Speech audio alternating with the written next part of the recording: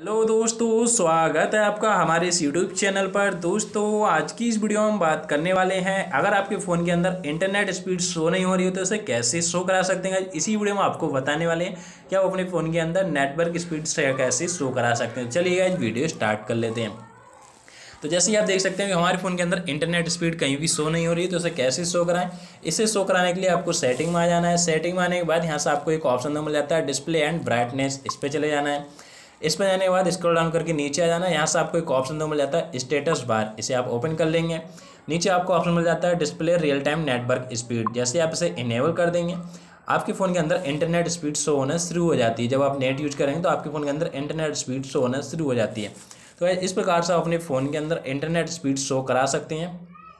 आई इस प्रकार से इंटरनेट स्पीड शो करा सकते हैं गाइज़ आई होप आपको वीडियो पसंद आई। अगर वीडियो पसंद आई हो तो लाइक करें शेयर करें और चैनल पे पहली बार आए तो चैनल को सब्सक्राइब करके बेल प्रेस करें ना भूलें, ताकि आपको वीडियो नोटिफिकेशन मिल सके। सबसे पहले मिलते हैं आपसे किसी नेक्स्ट वीडियो में। तब तक के लिए बाय एंड टेक केयर